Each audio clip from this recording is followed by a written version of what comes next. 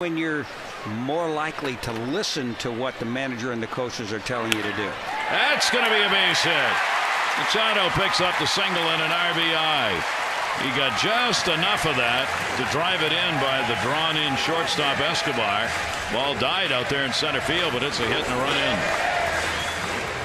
He's just trying to look to put the ball in play, hit it right up the middle, right back at the pitcher, and this is what Machado does. Another kind of little backup slider hits it right off the end of the bat, but it's right up the middle. Nobody can make the play. This is what happens, and teams start to swing the